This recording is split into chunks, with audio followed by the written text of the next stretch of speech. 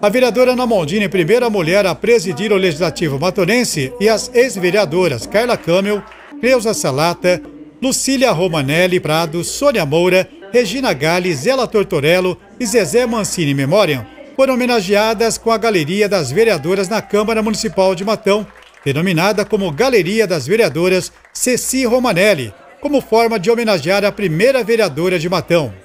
A solenidade contou também com a pastora Lara Defina, que, como forma de estímulo às mulheres vereadoras homenageadas, falou de uma passagem da Bíblia sobre o episódio Débora, que emocionou a todos os presentes.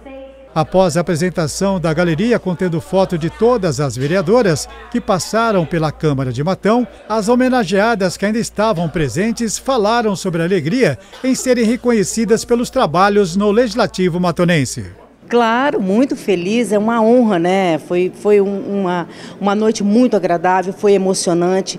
E receber uma galeria de vereadoras, né? Isso é muito importante e serve até como incentivo para as mulheres entenderem que elas precisam participar mais da política. É importante para o fortalecimento da democracia, é importante para, para, para a criação de políticas públicas voltadas para as mulheres, porque a gente sabe que no contexto atual ainda sofremos com violência doméstica, sofremos com desigualdade eh, salarial, tem preconceito, que a mulher não consegue, que a mulher é isso, que a mulher é menos do que o homem. E a gente sabe que a gente, a gente tem uma, uma é, é, muito machista ainda no nosso país, né? Então, essa, essa, essa propositura do Paulão veio a calhar, é um momento difícil para as mulheres também né, nessa luta toda que nós temos para serem, sermos aceitas na sociedade como agentes políticas, né?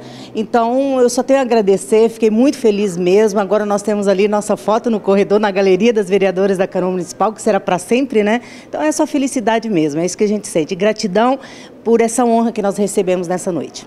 Agradeço às mulheres vereadoras de Matão que fizeram tudo para que eu fosse homenageada hoje.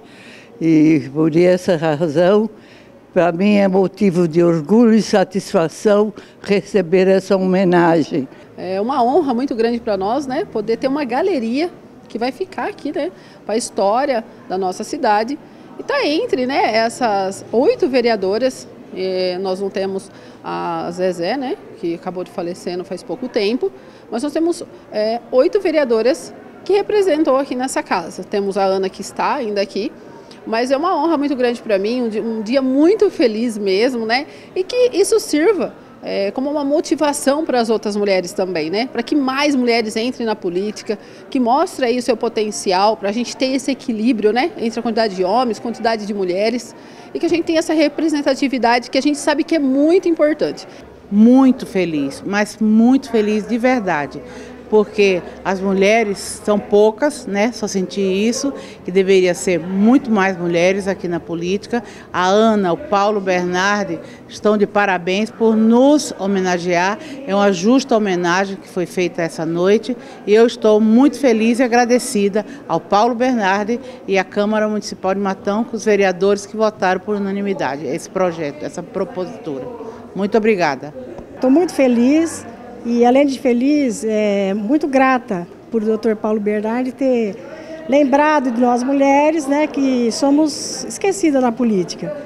E para mim foi uma honra muito grande essa homenagem, fiquei emocionada e fui vereadora por três mandatos consecutivos. E eu acho que precisa de mais mulheres na política, né? A gente tor torça para que tenha mais candidatos que seja eleita. Então estou muito feliz mesmo com essa lembrança do Dr. Paulo Bernardi. Muito feliz, sou muito grata.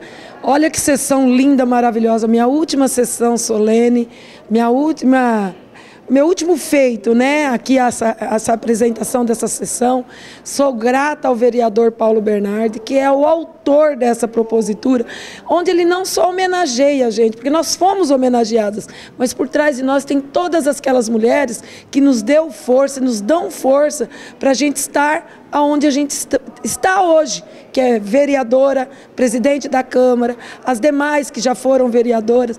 Nós estávamos assim emocionadas. Eu falo por mim e pelas demais que a gente viu. Uma honra ter a vereadora Sônia, a vereadora Cleusa, a vereadora Zela Tortorello, a vereadora Carla e a vereadora Regina aqui com a gente hoje e a Ceci que é a homenageada da galeria, a dona da galeria, que levou o nome da galeria. Infelizmente, a Zezé Mancini não está, mas estava no nosso coração. Representando a família da senhora Ceci Romanelli, o filho Marcelo Prado agradeceu pela homenagem. Sem dúvida, sem dúvida foi um, uma homenagem muito legal que a gente recebeu. Ela, em 77, foi a primeira vereadora de Matão, imagina até o, o bem que ela fez isso para as mulheres aqui de Matão. Foi um, um legado muito difícil para ela, no momento em 77, nós estávamos no, no militarismo, então foi muito difícil para ela para a família também. Eu mesmo lembro meu pai, meu pai, não, as brigas, essas coisas familiares, que não foi muito fácil. Mas hoje a gente recebeu uma grande homenagem, ela tem a Galeria das Mulheres e graças ao, ao vereador Paulo Bernardi, ela foi homenageada como o nome, com o nome da Galeria dos Vereadoras de Matão. Então isso é um motivo de orgulho para a gente da família. Nós ouvimos também o autor do projeto que instituiu a Galeria das Vereadoras, o vereador Paulo Bernardes. Roberto, acho que é importante nós valorizarmos as poucas mulheres que até hoje tomaram assento no Legislativo de Matão.